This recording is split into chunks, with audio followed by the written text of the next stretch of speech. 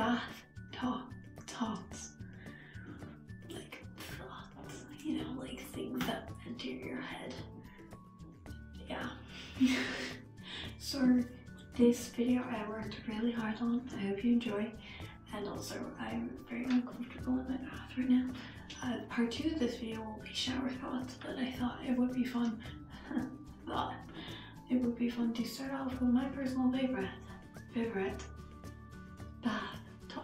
Because I had a bath today, and this isn't even bath thoughts. It's more relatable things that happen before baths.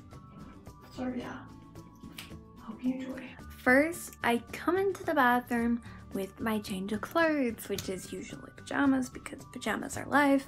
I will of course put them up there, lock the door, then feel very self-conscious while taking my clothes off, uh, hide away from the window in case anyone looks in, then look the devil in the eye for a good few minutes, because yeah, this thing hates me. Then I will start the shower obviously, or bath, whatever. Then I will be naked, not in clothes, and then I will look around my bathroom for any of those freaky Spy Kids cameras, because I'm afraid that people will see me naked.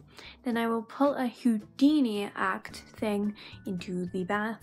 Then I will look at myself in the mirror and be like, I've seen you naked before. Then I will have weird thoughts like, do spiders poop?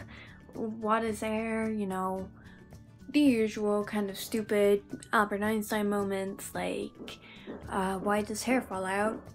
Uh, you know, stupid stuff like that. Yeah, pretty much every single thought in the world like am I secretly dead because I'm literally so pale and look like a corpse? So yeah, that's the thoughts that go through my mind while I'm having a bath or I will probably take in some of my secret stash of children's toys in with me and have a field day in the bathtub with naked Barbie dolls. And I wonder why I'm pansexual. Okay, anyways, other than that, I will probably just sit here staring blankly at the wall, probably thinking of which Why Don't We boy I'm going to marry. Um, usually it's Jack, because Avril Lavigne told me skater boys are the best, and she's right. Skater boys are the best. And then I will probably switch lane after I fall down into the water and almost drown because I can't swim. And make a creepy face at myself. I do this quite often, not just on camera. Then I will crawl out of the bathtub after contemplating whether I should or not. Then I have a shower. I don't do that afterwards, no, that's too much work. I'll be lucky if I even have a bath in the first place. But I'll have a shower anyways, which will be part two of this freaking video.